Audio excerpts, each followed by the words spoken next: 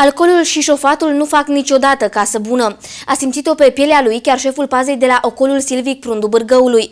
În timp ce cobora cu mașina muntele în pasul Tihuța, a pierdut controlul asupra volanului, a intrat pe contrasens și s-a izbit frontal de o cisternă. În urma impactului, șoferul a ajuns în stare critică la spital. Accidentul a avut loc azi noapte pe drumul național 17 în pasul Tihuța, care face legătura între Bistrița și Suceava. Șeful pazei de la ocolul Silvic Prundu Bârgăului se întorcea din câte se pare de la un control făcut în pădurile controlele din munții Bărgăului. Cum de obicei, aceste controle se termină și cu câte o masă la care nu lipsește băutura, bărbatul în vârstă de 50 de ani a băut cu un pahar în plus și s-a urcat la volanul mașinii. Pe drum, în timp ce conducea, mașina a pierdut controlul volanului, a intrat pe contrasens și a intrat frontal într-o cisternă. Ce, ce, ce, ce să vă spun, veneam de jos despre Bistrița, m-am trezit cu el din curvă cu contrasens, am dat să evită, cu stânga, am blițat, dar degeaba.